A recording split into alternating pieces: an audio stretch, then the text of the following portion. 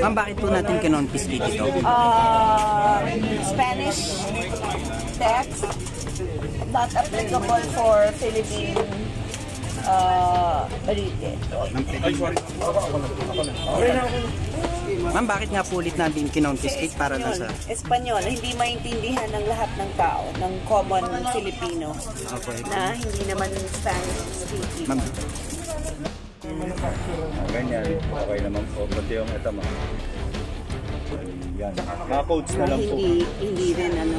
Mga codes na lang po yung nakalagay sa kanya. Kaya po, parang-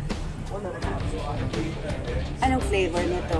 this one is, sa code is sti- still LY Lighty. Uh, saan nakalagay yung flavor? Ah, ma'am, bali talagang ano, kinakausap, yes, kinakausap na lang namin yung sa ano. Itong ISIS lang. Ayan, so hindi yan maintindihan ng mga tao, kaya kailangan natin kuhanin.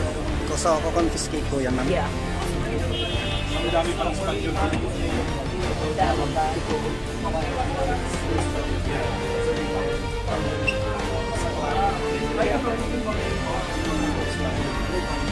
Ma'am, yan din po, Espanyol.